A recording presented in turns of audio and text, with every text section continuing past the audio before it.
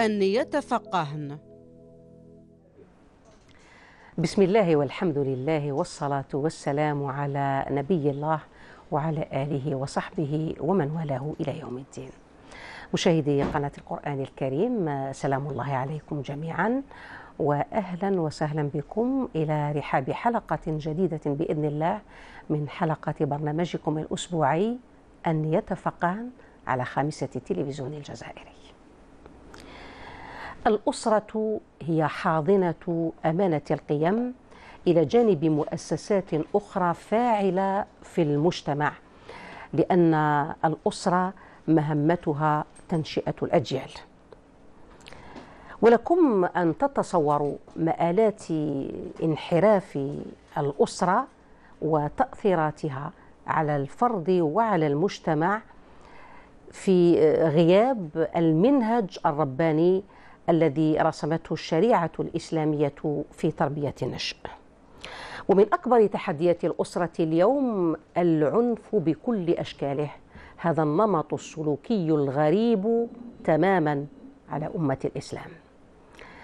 طبعا كالعادة نزولا عند رغباتكم وإجابة على أسئلتكم وانشغالاتكم التي ترد برنامج أن يتفقهن. اخترنا اليوم كعنوان لهذه الحلقة العنف الأسري وتأثيره على الأسرة والمجتمع. طبعا النقاش سيثرى بإذن الله تعالى في حضور جليستي البرنامج. على يميني كالعاده البروفيسور عقيلة حسين. المتخصصة في الفقه وأصوله. السلام عليكم. وعليكم السلام ورحمة الله وبركاته. أهلا وسهلا أختي نصيره أهلا بك أهلا بك وعلى يساري أيضا كالعادة الدكتورة ملكة بالعالية المتخصصة كذلك في الفقه وأصوله. مرحبا بك دكتورة. مرحبا بك. نصيرة الأستاذة عقيلة. السلام عليكم ورحمة الله تعالى وبركاته. وعليكم السلام ورحمة الله تعالى وبركاته. أذكر بعنوان هذه الحلقة من أن يتفقهن العنف الأسري وتأثيراته على الأسرة والمجتمع. وكالعادة سنخوض في هذا الموضوع كتمهيد لهذه الحلقة ابتداء من محاربة الشريعة الإسلامية للعنف بكل أشكاله. هذا العنف الذي توغل بدرجات متفاوتة لكن خطيرة داخل هذه النواة الأساسية للمجتمع. والتي هذا الانحراف وهذا العنف الذي بدأ يلقي بظلاله على المجتمع ككل وعلى البناء المجتمعي وعلى منظومة القيم ككل. والبداية مع البروفيسور عقيله حسين. بروفيسور ما هي أشكال العنف وكيف حاربه الإسلام؟ وما هي التحديات التي يتخذها العنف داخل هذه النواة الأساسية التي هي الأسرة وتأثيراتها أيضا على ما يحيط بها وهو المجتمع بكل أطيافه. بارك الله فيك. بسم الله الرحمن الرحيم. الحمد لله والصلاة والسلام على سيدنا محمد وعلى آله وصحبه أجمعين. بدور حيكي أختي نصيرة حيكي دكتورة مليكة. حيي مشاهدينا الأفاضل وبارك الله فيك. في الحقيقة إشكال دقيق جدا أن نتحدث عن الأسرة كما قدمت وهي النواة الأولى. الأصل فيها أن يجتمع اثنان على عاطفة وعلى حب وعلى علاقة طيبة. وتتعارف الأسرتان ويتم الزواج ويأتي الأطفال و كم هي غريزة الأبوين غريزة الحب والحماية لهؤلاء الأطفال. وكلها هي مراحل تقتضي وضع الكثير من الاعتبار للتعامل في الإسلام في النهاية. فيك. جيد. وبالتالي حينما تلتقي أو تتم هذه العلاقة الزوجية ثم ينتج عنها أطفال وتكبر الأسرة وتتكون هذه الأسرة الأصل المودة والرحمة. ربي سبحانه جعل بين الزوجين المودة والرحمة في الآية الكريمة. جعل الله سبحانه وتعالى هذه العاطفة وهذه العلاقة الطيبة. جعل من من الأبناء الطاعة للأباء والشفقة على الأباء. جعل من الأباء الرحمة بالصغير ومن الصغير توقير الكبير. هذا القيم والمبادئ ثم ليدخل علينا هكذا عنصر غريب جدا. صعب جدا إشكال محوري دقيق عنف. هذه كلمة خطيرة جدا في في المنظور اللغوي وفي المنظور الوعاء الشرعي الديني القانوني الاجتماعي النفسي للأسف الشديد.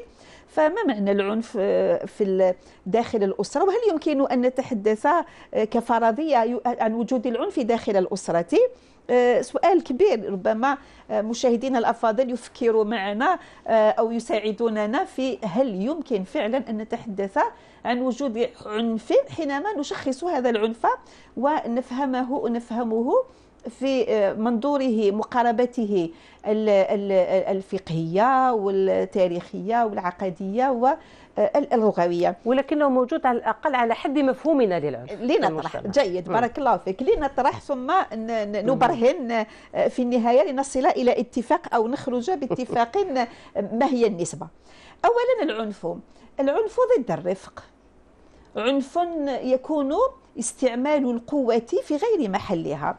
فاستعمال القوة في غير محلها آه، آه، يعكسه أن آه، الشخص العنيف هو ضد الشخص الذي فيه رفق لين سهل يسر متسامح متواضع عكسه تماما الشخص الذي فيه عنف وغلظة وبالتالي في المبدأ الأصلي أنت قلتي القيم في المبدأ الأصلي لديننا المسلم من سلم المسلمون من لسانه ويده. قول كل شخص يلتقي في الإسلام قول أي إنسان يلتقي بأخيه الإنسان يحييه السلام عليكم. هذه كلمة السلام عليكم ورحمة الله وبركاته. عبارة عن عقد الأمان تحية الأمان تحية السلام. يعني ليس من جهة اتجاهك إلا السلم. ليس لأن السلم عكسه العنف. فليس من جهة اتجاهك إلا الأخوة إلا المحبة. فالإسلام من السلم والسلام. هذا اسم ديننا الحنيف بقيمه الكبيرة هذا فقط مصطلح الإسلام. الإيمان الإيمان هو مصطلح التصديق هو مصطلح الأمان فمشتق من الأمان. فغير ممكن أنه في في المفاهيم اللغوية اللسانية في لغة الإسلام في مصطلحاته أن الإيمان هو الأمن. ومن أمنه الناس على دينهم وعلى مالهم معناها ليس عنيفا لا يلحق بهم ضررا. فالعنف إلحاق الضرر إلحاق الشتيمة إلحاق السوء بالآخرين. ثم هذا العنف يأخذ, يأخذ أشكالا متعددة في صياغه أولا عندنا أنواع العنف عندنا العنف البدني عندنا العنف القولي عندنا العنف الجنسي. عندنا العنف العاطفي عندنا العنف الأدبي فالعنف الاجتماعي العنف الأسري العنف الجماعي العنف الفردي. فحينما صنفه علماء في تفاصيل الجزئيات نجد بأن العنف أخذ اشكالا متعددة داخل هذه المسائل. وبالتالي قد يقول لنا شخص أن أنا في أسرتي ليس لدي عنف بدني مثلا. لا يوجد في الأسرة عنف بدني. ولكن لنبحث عن أنواع أخرى من العنف لنرى تجسدها في الواقع. قال العلماء حرمان أبنائك وزوجتك من العاطفة عنف. من عنف عاطفي. حرمان الزوجة أبنائها وزوجها من من العاطفة. عنف عنف عاطفي مثل ما قال العلماء كلمة سيئة داخل الأسرة من, من أحد الأطراف من الابن إلى أبيه أو من الأب إلى ابنه أو من البنت إلى أبيها وأمها يعتبر عنف قولي. فدرجات العنف بين الخطورة والمهم كلها تجتمع في داخل مربع اسمه عنف بأي أشكال وبأي واقع كان. قد يكون هناك عنف ضامر في معاملة من المعاملات. يأتي شخص إلى النبي صلى الله عليه وسلم. عليه الصلاة والسلام. ويرى أن سيدنا النبي صلى الله عليه وسلم يقبل الحسن ابن علي ابن ابنته. يقول له عندي عشرة من الأطفال ما قبلت أحدهم. قال له النبي صلى الله عليه وسلم إذا ربي كاين روايتين. رواية يقول له من لا يرحم لا يرحم. وبالتالي العنف عكسه آه، يعني مضادته مباشرة الرحمة. فوجود الرحمة هي انتفاء العنف. قال له بعد قال له إذا إذا إذا نزع الله في رواية أخرى إذا نزع الله من قلبك الرحمة ماذا أفعل لك أنا؟ وبالتالي القسوة هي نوع من أنواع العنف. قسوة القلوب قسوة التصرفات نوع من أنواع العنف. لما النبي صلى الله عليه وسلم في تبليغ رسالته قال الله عز وجل. ولو كنت فظا غليظ القلب لانفضوا من حولك. فسيدنا النبي صلى الله عليه وسلم في رسالته الاجتماع الأسرية أولا قبل أبناء وعامل بناته وزوجاته. تلك الرحمة اللي في بيته لم يكن عنيفا لم يضرب لم يقل كلمة سيئة لا لخادمه ولا هذا القدوة. هذا هو التأصيل لمسألة علاقة النبي صلى الله عليه وسلم داخل أسرته في انتفاء هذا النوع من التصرفات الغير آه، طبيعية. ثم يخرج إلى الواقع فيدعو أمته باللين. فوجود آه، آه، ليونة في الخطاب وجود عمل جيد وجود تصرف طبيعي من إنسان عادي فيه خير يعتبر ليس فيه لا فظاظة ولا غلظة. لماذا؟ لأن الناس تكره الغلظة تكره الفظاظة وتكره العنف وتكره السوء وتكره أن يقع عليها الأذى. ثم هذا آه، في باختصار شديد في آه، لما نتحدث عن بعض الآيات والأحاديث موجود بكثرة لكن أنا حنرجع إلى واحد المسألة مهمة أختي نصيره الفقهاء. الفقهاء لعل من يشاهدون له معلومات فقهاءنا ما سموش العنف بمصطلح هذا المصطلح لم يستعملوه في أحكام الفقه وإنما استعملوا مصطلح الإكراه. نعم. كاين الإكراه الملجئ والإكراه الغير ملجئ والإكراه الأدبي. ما معنى يكرهه؟ بمعنى يعنفه ويضطره ويشدد عليه إلى أن يصل أن ذلك الإنسان لا يستطيع أن يرد فعلا. وتحدثوا عن مسائل كثيرة في مسألة الإكراه. وكانت وكان عرب الجاهلية يكره يكرهون فتياتهم على البغاء. وربي عز وجل قال لا تكرهوهن على البغاء في سورة النور. في مسألة الفتيات لوتهن إماء في بيوتهم. فكنا يكرهن بمعنى يلجئوهن. فالإكراه الضغط الشديد الإكراه يعتبر نوع من أنواع العنف.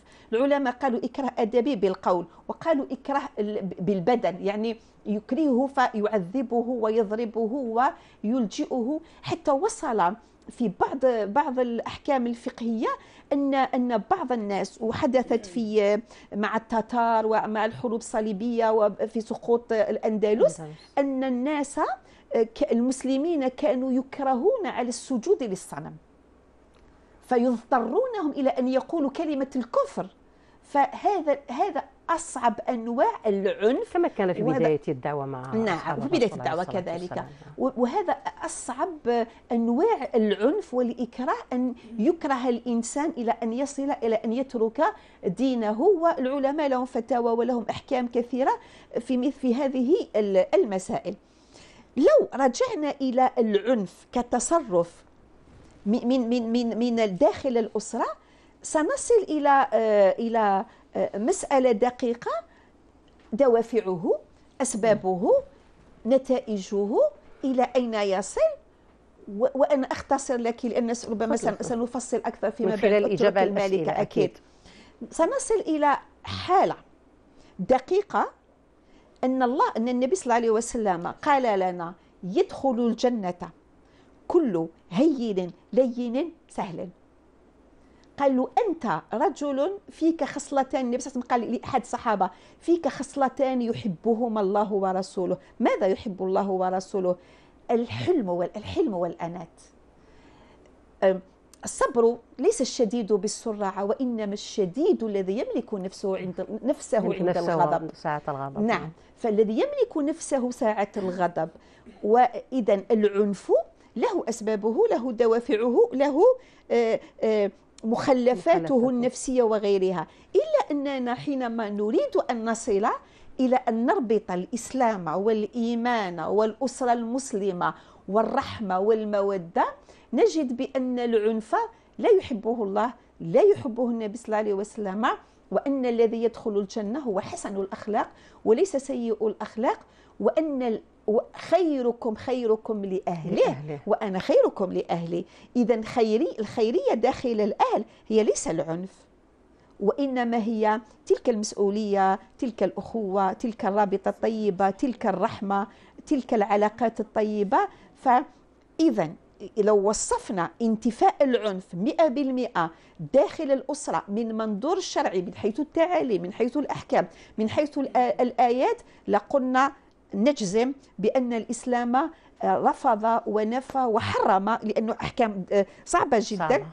هذه التصرفات المشينة داخل الأسرة وهذا الكسر الخواطر وهذا الأذى للأبناء وهذا الأذى للزوجة وهذا الأذى للزوج من كلا الزوجين. وبالتالي نجد بأن الخصومة ستكون أصعب بكثير يوم القيامة حينما يتحلل الإنسان من أخيه الإنسان وبعد الحسنات رجع لي حسناتي وهاك سيئاتي. وهذا هذا هو الذي يمكننا أن نفكر فيه ماليا مع مشاهدينا الأفاضل حينما نريد أن نتصرف تصرفا ليس بدرجة العنف وإنما بدرجة أقل بكثير من العنف من مراحل التأديب لأن التأديب في غير محله عنف. عنف أيضا نعم. عن التأديب ولا أتحدث عن العنف. في مراحل النصيحة كيف ننصح؟ في مراحل حل مشكل عائلي كيف نتصرف؟ وبالتالي الأمر جلل جدا حينما نتحدث على العنف فلتنتفي مصطلح العنف من قاموسنا اللغوي ومن تصرفاتنا ومن لساننا ومن آذاننا ومن بيوتنا لأن السلم والأمن هو أصل ديننا الحنيف ومقصده الكبير. بارك الله فيك على كل به وهذا التأصيل لموضوعنا اليوم. والذي أذكر به العنف الأسري وتأثيراته على المجتمع. هذا العنف الذي أكدت بروفيسور عقيلة من خلال هذا التمهيد أن الإسلام أو قيم الإسلام ينتفى فيها ينتفى. هذه الخصلة التي هي خصلة العنف والتي أصبحت تتغلغل آه، في كل زوايا آه، أسرنا. هذا واقع لا يمكن أن نبتعد عنه. آه، لذا علينا أن نوجه أن ننصح من خلال هذا البرنامج أن يتفقهن حتى نصوب ما يمكن تصويبه ونصحح آه، ربما ما يمكن تصحيحه في تنشئتنا وتربيتنا آه، لأبنائنا لأنه كلنا معنيون بهذا الأمر وهذه الكارثة التي أصبحت تنخر الأسرة والمجتمع آه، ككل. اذا تحدثت بروفيسور عقيلة على العنف بكل أشكاله وقالت هو صفة منتفية تماما آه، عندما نضعها مع آه، الصفات التي يدعو إليها الشرع الحكيم ولعل أبرزها الإيمان والليونه أيضا آه، في حتى الله سبحانه وتعالى. يقول يحب كل هين هين لين. سهل. سهل. وحتى لما نخاطب الناس نخاطبهم بالحسنى وبليونة ولا يمكن أن نكرههم آه، في أي أمر. وهو ما أشرت إليه عندما أصلت أيضا إلى الموضوع تحدثت عن تصنيف العلماء لموضوع العنف وهو في النهاية إكراه. إذا آه، أكيد أن هذه آه، هذا الأمر العنف محرم في شريعتنا الإسلامية. وهو ما يكرس المقاصد من وراء ذلك. نعم بسم الله الرحمن الرحيم. الحمد لله وكفى الصلاة والسلام. على النبي المصطفى. في البداية اللهم اجعل بيوتنا بيوت بركة ورحمة. آمين. اللهم اجعل بيوتنا بيوت مغفرة. آمين. واجعلها بيوت اطمئنان وراحة وسكينة. آمين. واجعلها بيوت تقوى وهداية. لأننا في النهاية كلنا نخطئ. بارك الله فيك. نعم. لأنه أخت نصيرة الرفق من التقوى. والتعنيف من الظلم وهو من الفجور. والله تبارك وتعالى قال في محكم تنزيله ألا لعنة الله على الظالمين. وقال النبي صلى الله عليه وسلم آه، في الحديث القدسي كما قال اتقوا الظلم فإن الظلم آه، ظلمات. قال النبي صلى الله عليه وسلم اتقوا الظلم فإن الظلم ظلمات يوم القيامة. وقال في الحديث القدسي يا عبادي إني حرمت الظلم على نفسي. وجعلته بينكم محرما. في الشاهد أن مما سبق في هذه النصوص أن الشريعة نهت عن التعنيف لأنه وجه من أوجه الظلم. والدليل أن الرفق ضد التعنيف والرفق هو السبيل الوحيد لتحقيق المصالح التي تحافظ على سيرورة الأمن في البيوت المسلمة. والعنف والتعنيف والظلم هو ضد الرفق وبالتالي هو يفسد المصالح عاجلا واجلا. الآن لما نتكلم على التعنيف الأخت نصيرة والمقاصد التي رمى إليها الدين والشريعة الإسلامية هي مقاصد عظيمة. أولها حفظ النفس لأن النفس كما تفضلت الأستاذة بارك الله فيها على التفصيل في المقدمة الإنسان قد يعنف قولا وقد يعنف فعلا. والإنسان هو مجموعة مشاعر. الإنسان عندما يتعرض إلى هذا التعنيف فكرامته تهدر بالكلمة بالفعل بالنظر كما قلت بارك الله فيك بالضمن المضمر قد يكون فيه تعنيف مضمر. الشاهد أن حتى القانون الجزائري الوضعي المادة 299 من قانون العقوبات في آه، قانون العقوبات المؤرخ في ديسمبر 2006 يعاقب على السب الموجه إلى الأفراد وإلى الفرد أو الأفراد. والعقوبة آه، تكون إما بغرامة مالية من 10000 دينار جزائري إلى 25 ألف دينار جزائري وإما بالحبس من شهر إلى ثلاثة أشهر. لك أن تتصوري حجم هذه المعضلة التي أصبحت متداولة والناس يستهينون بها. والشاهد أنه الإنسان ربي سبحانه حفظ له كرامته في الدنيا والقانون الوضعي حفظ له كرامته في الدنيا والآخرة. وبالتالي نجد أن مسألة الشتم ومسألة التعنيف القولي هذا لناس كثار يقول لك يعني كأنه شيء بسيط ولكنه شيء عظيم. الأصل في الإنسان أنه يكون محترم جملة وتفصيلا. الشريعة الإسلامية جاءت وحثت على الرفق. والدليل في حديث عائشة رضي الله عنها قالت قال النبي صلى الله عليه وسلم إن الله يحب الرفق. إن الله رفيق يحب الرفق في الأمر كله. ويعطي على الرفق ما لا يعطي على سواه وفي رواية يعطي على الرفق ما لا يعطي على العنف. وبالتالي شأن الرفق أخت نصيرة يحقق مقاصد عظيمة. أولها حفظ النفس ثانيها حفظ السكينة في البيوت. لك أن تتصوري بيت ما فيهش ما فيهش عنف. والنبي صلى الله عليه وسلم قال في الحديث الصحيح إذا أراد الله ببيت ببيت خيرا أدخل عليهم الرفق. البيت الذي فيه رفق غابت عنه المصائب. وقالت سيدة عائشة النبي قال ما كان الرفق في شيء إلا زانه وما نزع منه إلا شأنه. إذا نرى أن مسألة التعنيف في الأسرة تغيب مصالح كثيرة ومسألة الرفق تحقق مصالح كثيرة. ف أولها حفظ النفس ثانيها السكينة الطمأنينة سيرورة الحياة الزوجية لأنه من ثمار التعنيف في الأسر مسائل الخلع والطلاق مسائل تمرد الأولاد. أيضا الرسوب والتسربات المدرسية الطفل يولي ما يقدرش يقرأ لأنه التعنيف حرمه الله بالنص بالنص القرآني. وإن الله لا يحب المعتدين. والتعنيف فيه اعتداء إن لم يكن فعلا فهو لفظا.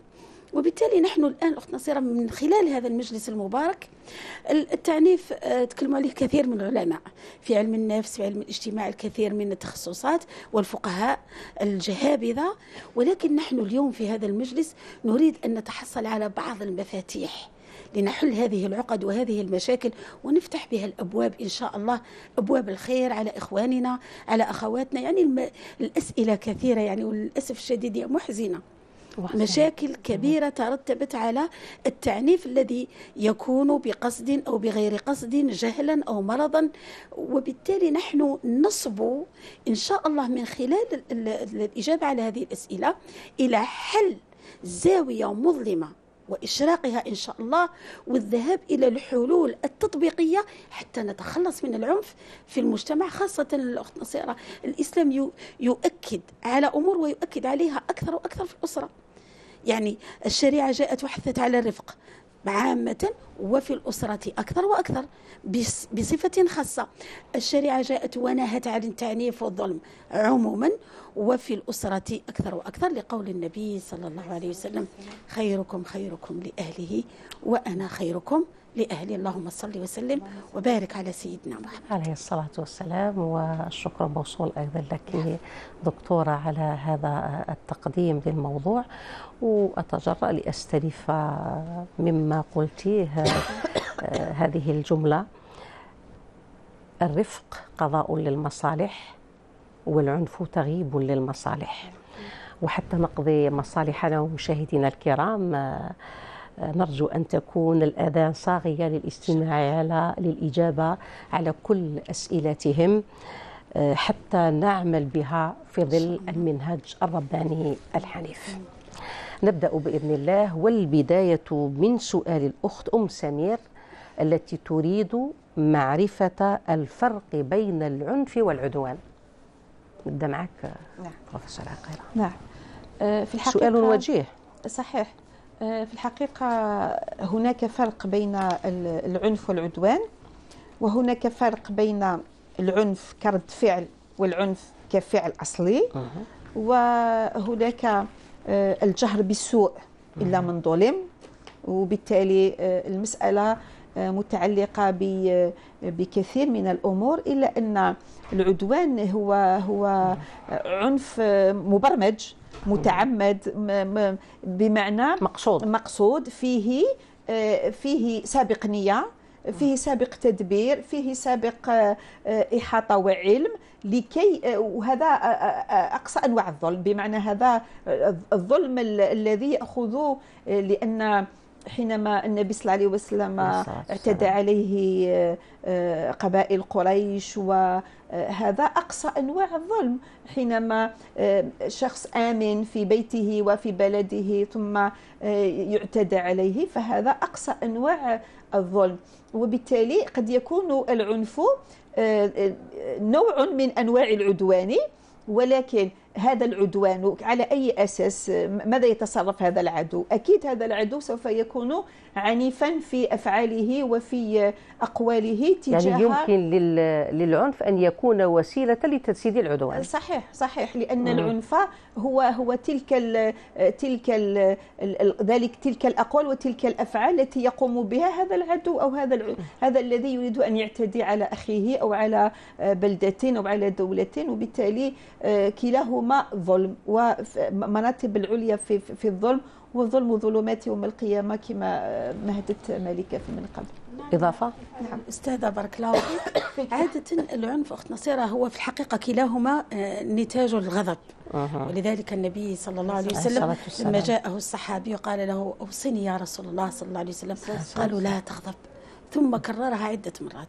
لأنه نتاج الغضب هو العنف وهو العدوان.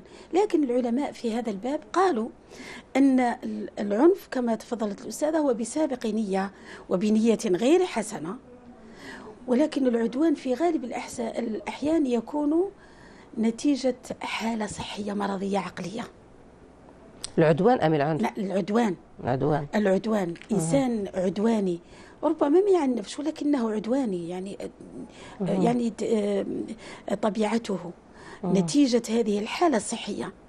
أما العنف الذي يعنف فهو فاقد للرفق. وكلاهما فاقد للرفق في الحقيقة ولكن ضبطوا هذه المسألة آه، حصروها قالوا أنه قد يكون العدوان نتيجة حالة مرضية عقلية. وهذا ما يكون غالبا أنا فهمت العدوان بمعنى بمعنى الاعتداء على على شخص آخر نعم. وليس عدواني بمعنى آه حالة نعم. نفسية. حالة يعني نفسية أو عنده ذلك الشعور سمنتك فهم سمنتك قصدك حالة نفسية؟ أنا فهمت. زاوية أخرى. جيد جيد جيد. في كلاهما خير لمشاهدينا والكل صحيح. جميل جميل. بارك الله فيكما. أنا حديثة الزواج تقول الأخت سامية من جالما وأود معرفة الأسباب الحقيقية المؤدية إلى العنف داخل الأسرة حتى أتجنبها.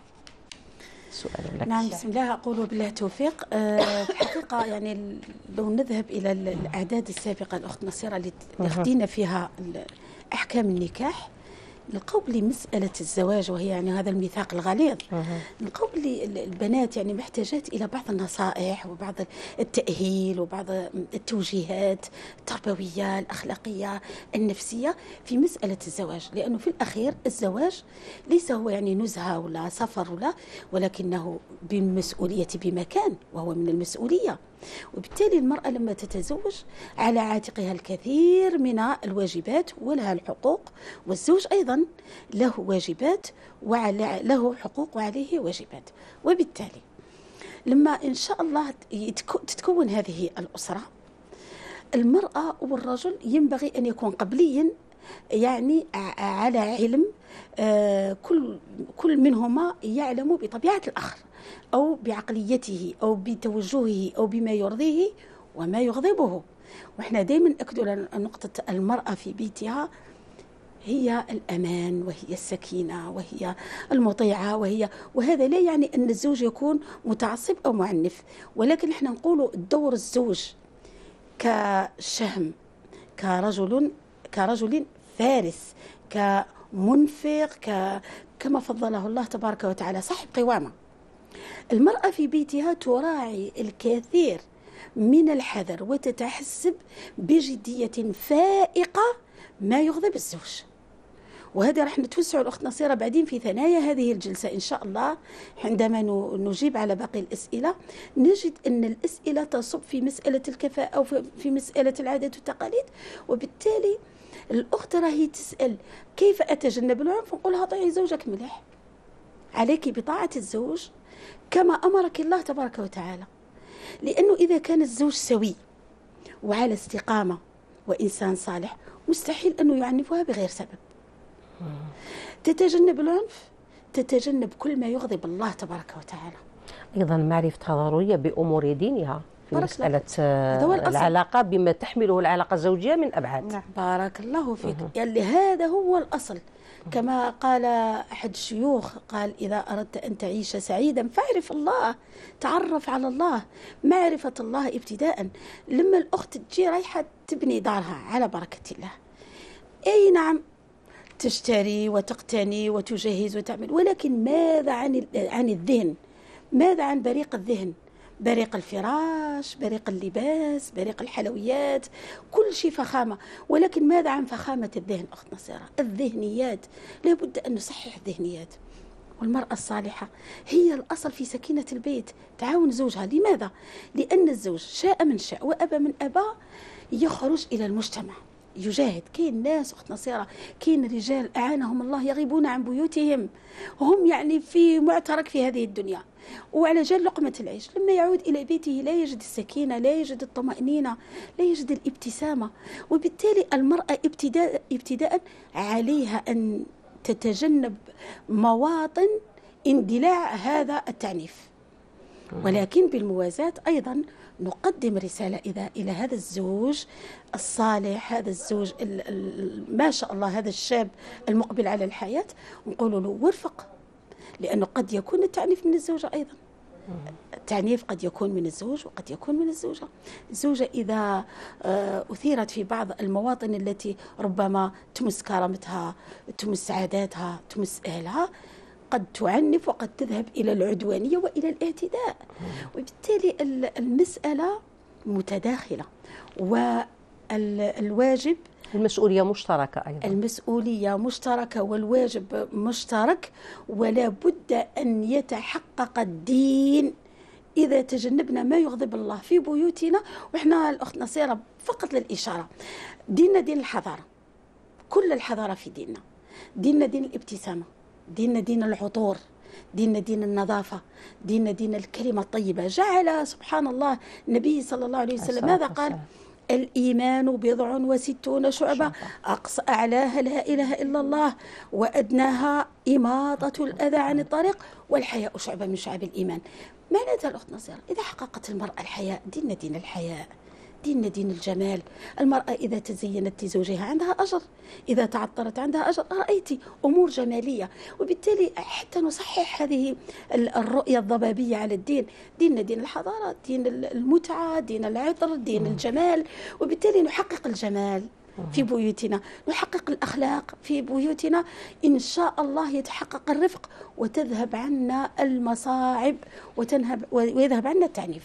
بحول الله. بارك الله فيك. أنا حبيت نضيف تفضلي. آه، سؤال مليح هذا سؤال مليح. لابنتنا نعم بارك الله فيها وبارك الله فيك ملكه على الرسائل أنا أردت أن أخرج منها هكذا جواب على أمور أخرى قد تطرح في مسألة العنف داخل الأسرة والتي تكون أسبابها يعني خارجة عن طريقة المعاملة وإنما عن علاقة في بعض. يعني نقول هكذا لا حياء في الدين. هناك بعض العلاقات الحميمية أو قد تؤدي بالزوجة إلى النفور. ولا أنا حبيت نضيف حاجة تفضلي إضافة ثم نعود لل لهذه المسألة. الموضوع الأول في مسألة البنت والمرأة أنا فكرتيني كي كنت تحدثي فكرتيني نوصي بناتنا. المرأة العربية كانت توصي بناتها. واش كانت تقولها؟ كانت تقولها تفقدي موضع نومه وطعامه. توصي بناتها. بارك الله فيك. آه تفقدي ما المقصود من ذلك؟ آه جيد. تقول تفقدي موطن طعامه ونومه.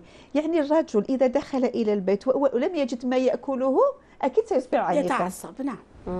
ما ما كاش طبخ في البيت ماش طبخة ماش محضرة الغداء أو العشاء فطبيعة الإنسان يعني دي بالفطرة هذه ماشي الإسلام ماشي تربية دينية وتربية دي عربية في الجاهلية. عربية وحتى في تراثنا موجود في تراثنا صح. ونومه. الرجل إذا أراد أن ينام قلت كلام مليح ملكة قبل أن نضيف عليه تعبان ويشتغل ويتعب بعيد قريب ممكن عمله شاق ممكن واقف ممكن بذهنه ببدنه ثم يأتي إلى البيت ويجد البيت مقيوم لا هدوء في في نومه ولا راحته أكيد سيصبح عنيف سيغضب. وبالتالي نقول بناتنا حينما نؤسس أسرة هذا الزوج آه، معاملته بفهم آه، فطرته الطبيعية والسليمة حينما آه، ملابس ما يلقاش ملابسه مكوية ومغسولة إلى آخره. أكيد سيغضب. بالتالي نجد بأن المسألة في هو ما يخصه هو طعامه وأكله وشربه ونومه هذا من جهة. من جهة ثانية مسألة كما كانت تقول مقبلة مالكة مسألة الاستجابة والطاعة في التحصين الزواج. تحصين الزواج. تحصين. هذه الزوجة ربي سبحانه كتب لك أن تأخذي أجرا حينما تحصنين زوجك حينما يخرج إلى الفتنة والشارع وغيره. ونفس الشيء بالنسبة للزوج يحصن زوجته على اعتبار أن العلاقة الزوجية الحميمية هي الحقوق الأولى بين الزوجين. هذه الأكل والشرب هي كلها تدخل في حقوق والواجبات وبالتالي حينما نجد الاستجابة والطاعة الفطرية الطبيعية بين الزوجين في العلاقة الزوجية يصبح الأمر متعلق بطاعة الله متعلق بالتحسين متعلق باتقاء الفتنة متعلق بحياة زوجية متعلق بعلاقة آه، زوجية طبيعية آه، إنسانية. فهذه كلها لها لها آه، وجه كبير في القضاء على العنف. آه يعني أن يراعي آه، الزوجان تقوى الله. ونعم بالله تقوى الله سبحانه وتعالى. صحابي تزوج صحابية وفي ليلة زفاف وقال لها تعالي نتفق. ميثاق. تعالي نتفق. إذا غضبت غضبتي أرضيتك. وإذا غضبت أنا أرضيني وإلا نفترق. ما نقدروش نكملوا وبالتالي العنف حينما نصحنا بناتنا ولا أبنائنا الزوجة غاضبة أنت زدت تغضب ولا مجابهة العنف بالعنف. ولا يتلحقوا الزوج غضبان. هي هي هي تقابلوا بغضب وين راح تلحقوا وبالتالي كما يقالوا عجايزنا قدموا تقدموا داركم يطير وبالتالي لا نصل إلى مرحلة أنه ذاك السقف يمكن يطير. ولا يقولوها الناس الزمان. لماذا؟ لأنه لما لما هذاك الزوج ما لقاش حاجته. هذاك التعنت هذاك التعنت. اسكتي كملي كملي أمور. كاين أمر آخر يا ابني اسكت أنت إذا زوجتك غضبت ولا تقلقت هدي هدي الأمور. وبالتالي الأسرة في في العنف الأسري لما نشخصوه في علاقة هكذا غضب طبيعي. باش ما نقولش ما غضبوش خلاص. تفضلي مالكه لا لا كملي تفضلي أستاذة. ما فيش كرامة بين الزوجين. ما فيش كرامة بين الزوجين. آه، فيه فيه تسامح وصبر وعفو. نعم صح نعم صح نعم. فعلا. وبالتالي حينما تولي نولوا نشدوا في هذه الأمور البسيطة هي الحياة طويلة. ولا زعفتوا اليوم ما كملتوش وغدوة ما كملتوش وزيادة على ذلك ما ما يعجبنا في في في في الحياة الأسرية. هو هذا الايثار والتسامح والتنازل. وإلا لا تسير خلي الزوج يتنازل اليوم تنازل اليوم غدوه وغدوة تتنازل هي. اليوم شوية انت غدوه شوية هي لكي لا نصل إلى ذلك الغضب المغلق. اللي قالت مالك قبل في المقاصد في مسألة العنف إنه تفترق الأسرة. ولأن هذا العنف إذا انطلق من غضبات اليوم وغضبات بعد غد والآخر لم يسامح والآخر لم يستجب وبدأت يتراكم يتراكم يتراكم وبراكين براكين وقد للاسف للأسف وقد تؤدي في بعض الأحيان حتى إلى ارتكاب جرائم. ارتكاب جرائم بعد براكين نفسية براكين لفظية. لفظية. إيه، ومن بعد وراح نلحقوا هو يقول وهي تقول وهو يهدر يتهدر ولا ولا كاين واحد فيهم ما يهدرش يخبي يجمع يجمع يجمع تلك تلك الطاقة السلبية والكلمات النابية ومن بعد يعود يتذكرها مع نفسه ولا تتذكرها مع نفسها يطلع ويحبط. لا نريد أسرا بهذا بهذا المفهوم الذي والله نستحي أن نعبر عن عن كلمات نابية هكذا أو عبارات قد تؤدي إلى القطار الأسرة الزوجية وخاصة الشباب. خاصة الشباب في بداية حياتهم الزوجية. ديروا ميثاق بيناتكم. كما قلتي أنا عجبتيني كي قلتي تعلموا أحكام شريعة وتعلموا واحد الصورة اسمها الحضاره التحضر نهضروا بالعقل. على ما نهضروا بالدواس. علاه نقدروا نعرفوا نهضروا نعرفوا نهضروا. خلاص نهضروا بالعقل. هيا طابلة ورقه وستيلو زوج كراسان تقابلوا راه نروحوا للغيستورون ولا نروحوا أي مكان في في في مطعم ولا في الأسرة ولا في البيت ونكتبوا هاي قولي واش يزعفك أنت؟ واش يزعفك أنت يا حبذا أستاذة هذه الأمور قبلية. اي في الخطبة هي في الخطبة. في فتره فتره بارك الله فيك. هي فتره أساسية وكنا خدناها في قصيرة في في حلقتين متتاليتين نعم في الموسم الماضي. قصيرة مسألة الأدب. طبعا. مسألة الأدب. الأدب من شوفي من حسن خلق المسلم أنه يكون مؤدب. امرأة أو رجل. صح. المرأة لازم تحترم زوجها في البيت. وصدقيني ما إحنا عندنا لأنه يعني قبل كل شيء هو تأدب مع الله. بارك الله فيك. لأنه علاش؟ إحنا في من الابتلاءات المعاصرة إنه الرجولة أصبحت تتلاشى شيئا أصبح فيه النساء يعني يحبوا يحبوا التفرع يحبوا الاسترجال إلى غير ذلك. المرأة تحقق الرجولة تاع زوجها في بيته. تخفض له جناح الذل كما قال الله على الوالدين. نعم المرأة مع زوجها تتكلم بصوت خافت تحس باللي زوجها هو إنسان مبجل هو تاج على راسها وعلى راس أولادها. هذا هو الأصل في شريعتنا أختنا الصغيرة. لازم فقد المرأة انوثتها تولي تولي تولي عنف؟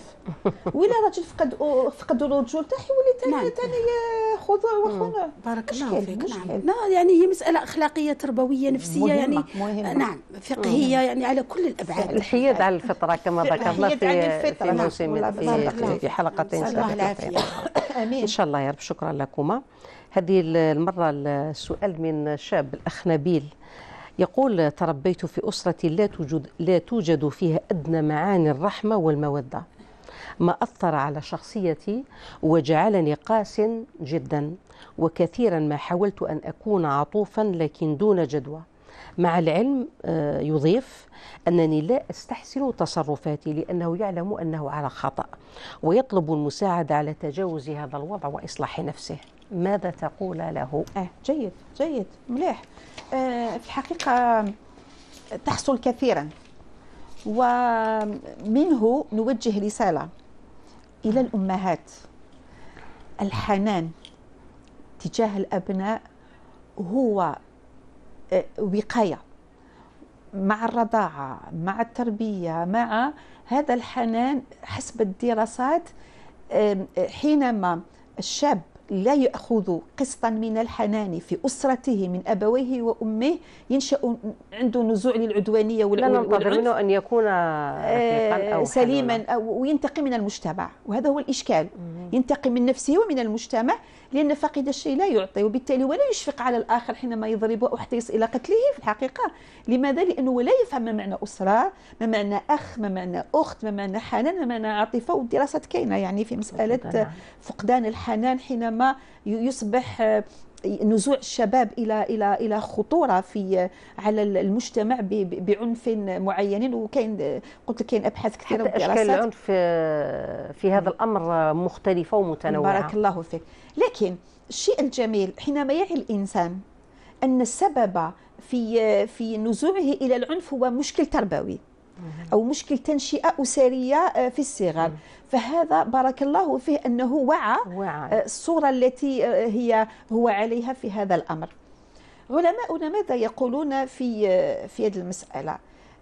هو هم أرادوا أن ينشئوه قاسي القلب. لماذا؟ لأن العنف من القسوة من قسوة القلب. ولكن نحن في ديننا كل أحكام الشريعة تعلمنا ليونة القلب. تعلمنا الرحمة. حينما نصلي ونصلي جماعة فنحن نحقق الرحمة تجاه الناس الذين نصلي معهم. حينما نتوضأ ننزل الغضب حينما نصلي ننزل الطاقة السلبية من أجسادنا حينما نمسح على رأس يتيم. يزرع الله في قلوبنا الرحمة. قال لك واحد كنت أعيش قسوة شديدة وبسبب التربية من قصص أهل العلم. ثم قال لك لما كبرت وجدت نفسي كنت أعيش في في في بلدة آه، ثقافتهم العنف والشدة يعني في قرية من أعراب ضغطوا علي كثيرا وبالتالي حينما كبرت كبرت قاسيا وعندي أمراض. قال لك ذهبت إلى إلى إلى عالم في التزكية. قال لي ربي يتيما. قال لك قال لي دخل بيتك يتيم. فأدخل إلى بيته يتيما. فقال لك سبحان الله بهذا اليتيم الذي أدخلته إلى بيتي وربيته ذهبت أمراضي وذهبت قسوة قلبي المؤمن ما عندوش قسوة قلب. هذه تربية خاطئة. ولكن ما دام استوعبت كل هذه الأمور نرجو أن تسامح والديك. على ما فات إن توفي أو إن ما زال على قيد الحياة وبالتالي صعب أن إنسان ما يسامحش والديه بهذا الخطأ الكبير. ونقول الوالدين ها هي النتيجة, لأب ابني يقول أنني نشأت هكذا. وأقول له يا ابني المسألة مستدركة. مستدركة بالصدقة بالدعاء كثرة الدعاء لله سبحانه وتعالى. اللهم ارحمنا. واجعلنا نرحم من, من, من هم أضعف منا. فالدعاء كثرة الدعاء كثرة الصلاة المعاملة الأيتام الرحماء يرحمهم الرحمن. وبالتالي نجد بأنك سوف تبرمج نفسك على تربية دينية وتزكية نفسية وادخل في علم آه، تهذيب الروح. سوف تخرج من هذه الحالة بسرعة آه، كبيرة جدا. واشفق على والديك مهما كان الحال الذي أنت عليها. نعم. على كل الأكيد أن هناك تلك البذرة الطيبة طبعا. التي تقوده بإذن واضح. الله تعالى إلى إصلاح نفسه. واضح واضح. إن شاء الله. الأخت حميدة قلقة كثيرا من وضع زوجها الذي يسب الدين ويتلفظ دائما بكلمات تخدش الحياء تقول حتى كرهت العيش معه. وتضيف في كل مرة أهدده بالطلاق فيتوقف لفترة معينة لكن سرعان ما يعود إلى عادته ويغضب. فماذا أعمل معه؟ يعني يبدو أن الأمر يتكرر كثيرا كلما كانت نعم السؤال هذا جاز علينا الأخت نصيرة ولكن أعتقد آه، كما قال العلماء ما فيش كبيرة يعني. أكبر مراتب الظلم وأكبر مراتب الذنوب هي سب الله وسب الدين. وقال العلماء أنه خروج عن الدين. لأنه رأيتي هذا فيه اعتداء. على العبد واعتداء على الله. الله سبحانه. هذه يعني تعتبر كبيرة من الكبائر. والكارثة أنه مش سؤال فقط الأخت نصيرة في هذا في هذا المجال. عدة أسئلة وصلتنا في خصوص سب الدين المتداول. أصبح الإنسان عندما يغضب يسب الدين. وهي ليست من شريعتنا في شيء وهي دخيلة على أخلاقنا. لأنها فيها اعتداء على العبد وفيها اعتداء على المعبود وفيها كأنها ترجمة لمشاعر هذا الإنسان تجاه الله. كيف يسب الله؟ إن كان الأخت نصيرة النبي صلى الله عليه وسلم ماذا قال؟ قال الرضا الرضا هو كل العبادة. إذا كان الله سبحانه وتعالى حين يقدر لك آه، شيء معين في حياتك عدم الرضا يعتبر سوء أدب مع الله. عدم الرضا فقط. غير راضي على حالتي. وإن تعدوا نعمة الله لا تحصوها. فما بالك بهذا الذي يتجرأ ويسب الله تبارك وتعالى ويسب الخالق الرازق القوي المتين الذي أنعم عليه بهذا اللسان الذي يفترض أن يقرأ به القرآن ويذكر الله به كثيرا ولذكر الله أكبر. وبالتالي العلماء جرموا وكفروا من يسب الدين ويسب الله تبارك وتعالى واعتبروه خروج من الملة. وعليه أن يتوب توبة نصح الأخت نقول لها اصبري على زوجك. ادعي له في كل صلاة. عليك بالدعاء. ولكن لا بد أن تستحضر أحد كبار العائلة الذي له سلطان على هذا الزوج يحدثه في الرخاء. الأخت نصير إحنا نأكد على نقطة مسألة أننا أتكلم في الرخاء بدون شدة. بالعقل في أريحية من أمره في لحظة صفاء. تعمل له تاخذ حديث نبوي ولا آية قرآنية وقاعدين في جلسة صفاء يعني جلسة ما شاء الله آه، مع العائلة مع وليداتها سنية شاي. قاعدين ثم ترسل هذه الرسالة بطريقة ضمنية غير مباشرة. قال ثم إذا رأت منه الإصرار على ذلك فعليها أن تلجأ إلى إمام قريب يستفتيها في الأمر لأنه الأمر جلل. أخت نصيرة عايشة مع إنسان يسب الدين يسب الله ليلا نهارا. ليس بالأمر السهل وليس بالأمر الهين. غير أن المجتمع عندما تداولت فيه هذه العادة وعندما تكررت هذه العادة أصبحت مألوفة. وهي آه يعني منبوذة وهو الظلم بأم عينه ظلم في حق الله تبارك وتعالى. عليه بالتوبة وعليها أن تبدأ بالخطوة الأولى في إصلاح هذا الزوج عن طريق شخص عن طريق كبير العائلة عن طريق الموعظ لا بد لابد لا تسكت على هذا الأمر. ماذا عن تهديدها لها بالطلاق في لها الحق أن تهدده أن تهدده. لماذا؟ لأنه في شريعتنا أخت نصيرة كاين بعض القواعد التي جاءت لتحل بعض الأمور المحظورة كطلب الزوجة لزوجها بالطلاق بغير حق وبغير سبب. الذي قال فيها النبي صلى الله عليه وسلم أنها لا تشم رائحة الجنة ولكن السبب موجود. ماشي برك تهدو. تذهب إلى بيت أهلها بعض الأيام. تخليه ما يأكلش أيام وما يشربش أيام. يحس أنه تجرأ على الله. هذا أمر خطير جدا وهو كما قال العلماء وهو من الكفر وهو من الظلم. وهو من الجرأة على الله تبارك وتعالى. نسأل الله العافية وعليه أن يتوب. إن شاء الله. بارك الله فيك دكتورة ملكة هذا أخطر ما, ما في العنف.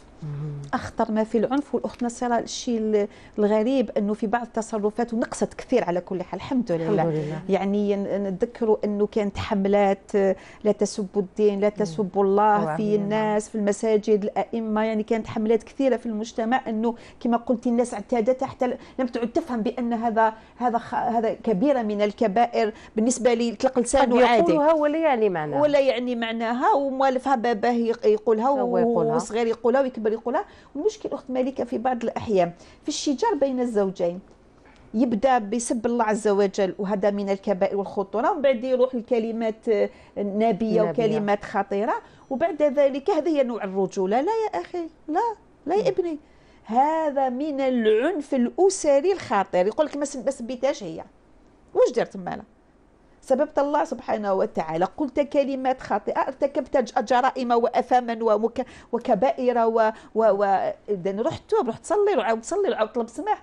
وعليه نقول بأن السيدات الأخواتنا الكريمات كذلك إذا رأيت من زوجك حينما يغضب يخرج من طبيعته فيقول هذا النوع من الكلام ويأتي يهذي ويصل إلى ارتكاب الكبائر نرجو منك أن تصبري أكثر.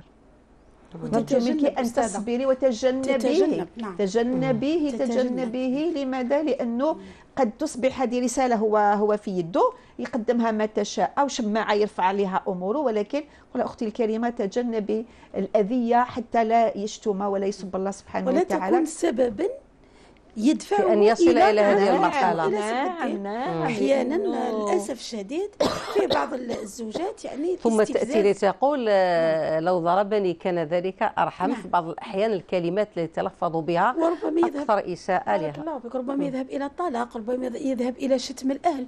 وكل هذا هو في الحقيقة وأعلاها أعلاها أعلاها ظلما وجورا و و وكفرا. هي سب الله تبارك وتعالى. نسأل الله العافية. وداخل الاسره نعم. مع الأبناء. نعم. وبعد ذلك هؤلاء الابناء يحفظون فأنت قدمت سيئة جارية لأطفالك. يأخذ- تاخذ إثمها ما دام طفلك يتحدث بها ويرفع صوته بها للأسف الشديد. وللأسف الشديد نعم. آه، وقت برنامجنا استنفذناه كله. الله يبارك. آه، سنعود آه، أكيد إلى الموضوع آه، لإتمام الإجابة على الانشغالات والأسئلة والاستفسارات التي وصلت البرنامج. وإن شاء الله فقط الحلقة القادمة تكفي. لنخوض في الموضوع من كل زواياه شاء الله. زواياه وجوانبه. شكرا لكما جلسة البرنامج على كل ما قدمتماه في هذه قدمتماه في هذه الحلقة. شكرا لمن تابع هذه الحلقة من يتفقهن وأذكر خصصناها وسنخصصها في العدد القادم إلى موضوع العنف الأسري وآثاره على الأسرة والمجتمع. شكرا للفريق العامل معنا هذا المساء والمخرجة نادية جادة التي اشتقنا إليها في هذا البرنامج. السلام عليكم ورحمة الله تعالى وبركاته.